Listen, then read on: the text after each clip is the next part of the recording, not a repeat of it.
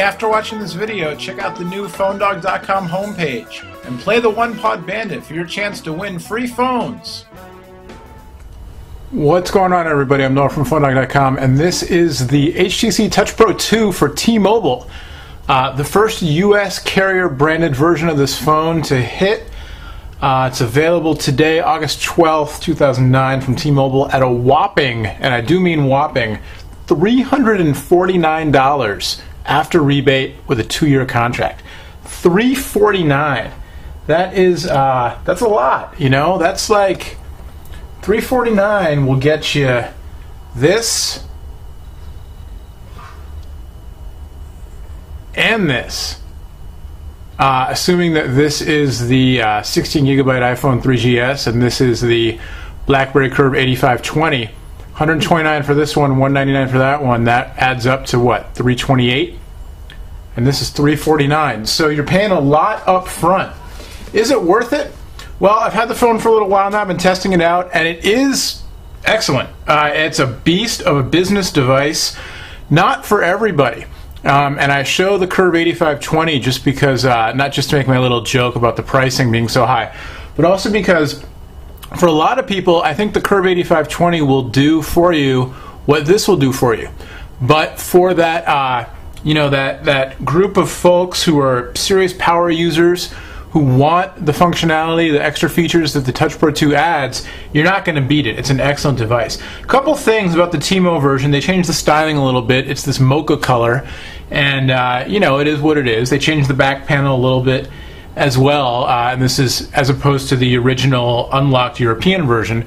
Uh, you're also going to see this phone soon hit the other three major U.S. carriers: Sprint, AT&T, and Verizon. I know AT&T. It's being rumored they're going to call it the Tilt 2 uh, harkening back to the original Tilt. And uh, Sprint has a way of making HTC devices look a little bit, you know, their own. Here's the original Touch Pro, in fact, for Sprint. Give you a little, uh, little look. And actually, you know, size comparison, the Touch Pro 2 much larger than the original Touch Pro, just as shiny. the very shiny screen. In the unboxing video, some somebody posted a comment about shiny screen. Why don't you take the screen protector off, noob? Screen protector's off, man. It's just very shiny, um, like the original. You can see though the the big difference, in addition to the giant 3.6 inch WVGA display on the Touch Pro 2, is you also get a much larger keyboard and the keyboard also tilts on the new phone as opposed to the Touch Pro. The Touch Pro keyboard I personally thought was very, very good. The Touch Pro 2 is, is out of this world. It's a fantastic keyboard, uh, a full five row QWERTY setup. It's offset just like a regular typewriter. You've got a dedicated number row. Uh, you've got a dedicated row on the bottom that's just, you know, spacebar and uh, other buttons, shortcut buttons, your Alt button, control, messaging, yeah, your punctuation keys. You've got a little D-pad over here, you know, kind of a cursor keys, not really a D-pad. Um, but, you know, just a very, very comfortable keyboard to type on. One of, if not the best in the mobile world. Uh, you know, I just can't say enough good things about it. The tilting screen is nice because um, it's a little bit more of a comfortable angle to use if you're doing a lot with your phone. Uh, we'll go back here to the home bar, home button rather. You've got MyFave support, and then you've got TouchFLO 3D. Uh, the phone comes with a stylus, but it is pretty finger friendly for a resistive touch display. So you've got you know the same TouchFLO 3D that you see on other HTC devices with a couple of T-Mobile add-ins. Um, couple of things about the T-Mobile version I'd started to talk about before, and then I got into the styling. One is that um, the phone does not support UMA calling. It does Wi-Fi and it does MyFaves, but not UMA calling which again, in a T-Mobile phone like the Curve 8520, you're going to get UMA calling. Uh, not exactly sure why they put it on some Wi-Fi smartphones and not others. Uh, the Blackberries seem to have it. Um, but in any case, that's not an HTC thing. That's a T-Mobile thing. No, no UMA calling. The other thing, which is kind of an HTC to T-Mobile thing, is that the speakerphone on the Touch Pro 2, the T-Mobile version is limited to three-way calling. I tried doing a conference call with some phone dog folks, and we had uh, a total of four people who were going to get on the call, and I could not add the fourth person. And I confirmed with T-Mobile it's limited to three people at a time, Whereas the Unlock Touch Pro 2, uh, I'm not sure what the, the total limitation is, but I know you can go beyond three people. So that's kind of too bad because the call quality on this phone is excellent and the speakerphone is just absolutely excellent for a mobile device. When you make a call, um, let's go to, uh, so let's call my voicemail here, and you make a call and you flip the phone over and the speaker automatically comes on. You can see a little green light came on. I will be helping you set up your voicemail in three easy steps. And uh, the the speakerphone is just great. It's got a mute button that you can turn on, so it's very easy to mute the call. So if you know, I was on a call with John and Adriana and our boss, and uh, I was with John and Adriana in the room, and our boss is on the other line. We could hit mute and you know talk smack about our boss without him hearing us. Um, but you know, it's kind of a nice, it's a high level business business feature, and for people who um, for people whose mobile phone is their only phone or they're on their mobile phone a lot, it's these little kinds of things that really, you know, HTC knows what they're doing and they, they can tailor this to the power user who is the intended user of this phone. Uh, in addition to that, you've got, you know, it's basically uh, more or less the same as the original version. Um, except for those, you know, the My Faves and then the unfortunate uh, capping of the conference call support. Um, but you've got the 3.6 inch WVGA display, as I mentioned, resistive touch, but it works well. Uh, you've got the browser. It's got the T-Mobile Web to Go. So we'll we'll fire that up, and it goes Internet Explorer when you launch from the browser, and it goes to Web to Go. Okay, I'm not I'm not enabled because I'm connected via Wi-Fi. But the thing is, and this is sort of too bad because um, I really think they should just make make it go through Opera no matter what. Um,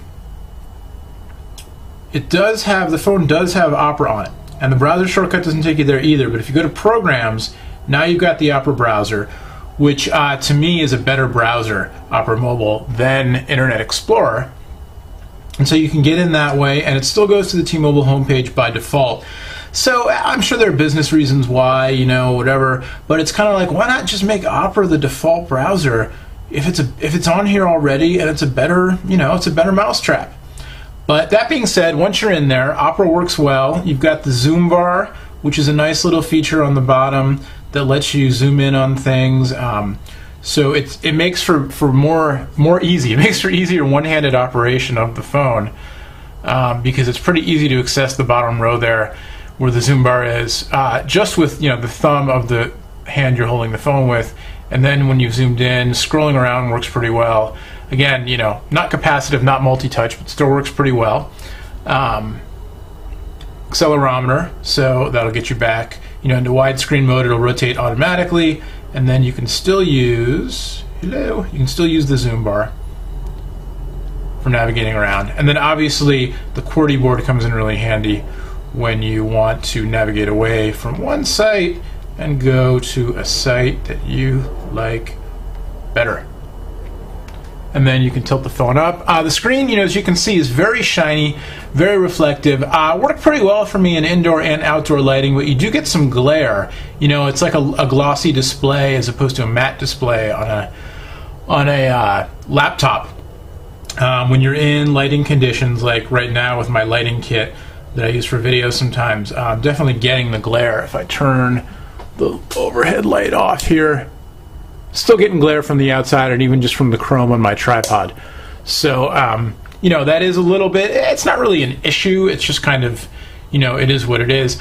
Opera Mobile here connecting via Wi-Fi works very well. The phone also works well over T-Mobile's uh, AWS 3G banding as long as you're within coverage.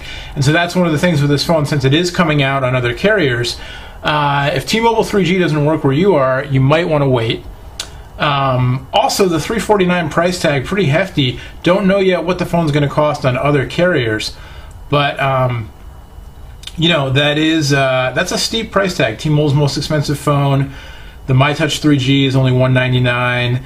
The um, you know on other carriers you can get an iPhone 3GS or a Palm Pre, you know for the 199 price point. So 349 a lot to spend, but if you're a Windows Mobile Power user, I think you know this is really the best QWERTY enabled Windows mobile phone on the market, I would say.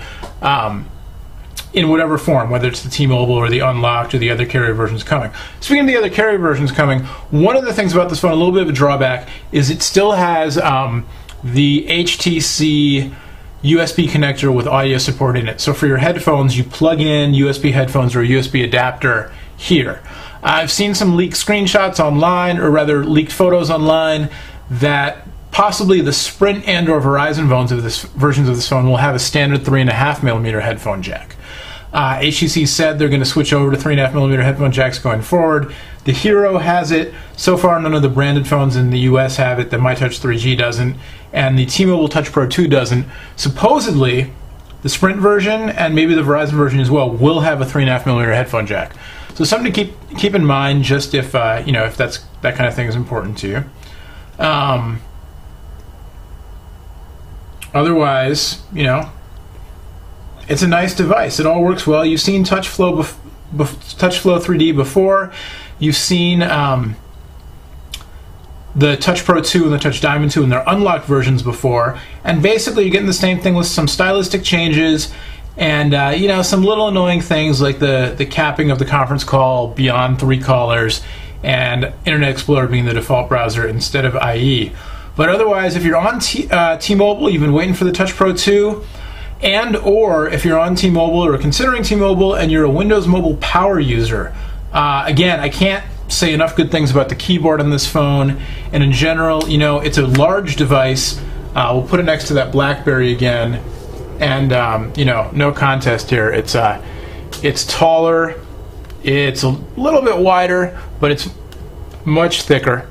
Um, so it's for the power user. If you're looking for a messaging phone, I don't think this is the phone for you, price and size. Uh, you might want to consider the BlackBerry. You might want to consider a phone like the. Um, got it back here, like the MyTouch 3G. You know, obviously much smaller, but you're getting a smaller screen, obviously different platform, all that kind of stuff, and you're not getting the uh, the lush, lush keyboard of the Touch Pro 2. Uh, compared to other T-Mobile Windows Mobile devices, I would take this over the Dash in a heartbeat myself. But if you don't do a lot of heavy web browsing, the Dash 3G, you know, it's that nice slim form factor with the QWERTY and the trackball, and it works well if you're a Windows Mobile user. Uh, you don't get the TouchFLO 3G experience. Um, which I think is quite nice as well. So there you go. For the power user for T-Mobile, if you don't mind the price, if you don't mind the size, uh, big thumbs up for the Touch Pro 2 in general and you know like a thumb up and a second thumb mostly up but just a little bit down for the modifications t-mobile made to it. And then the thumb goes way down for the pricing because 349 is stiff. Till next time thanks for watching. I'm noah from phonedog.com much much more on the touch the, the touch pro 2 again you can check out the unboxing. You can check out the review of the unlocked version. Uh, but now we've got the T-Mobile version, and we should soon be getting the Sprint, Verizon, and AT&T versions. Uh, you know, in whatever order they come out in over the next few months. All that and much, much more on PhoneDog.com. So next time, thanks for watching. We'll see you later.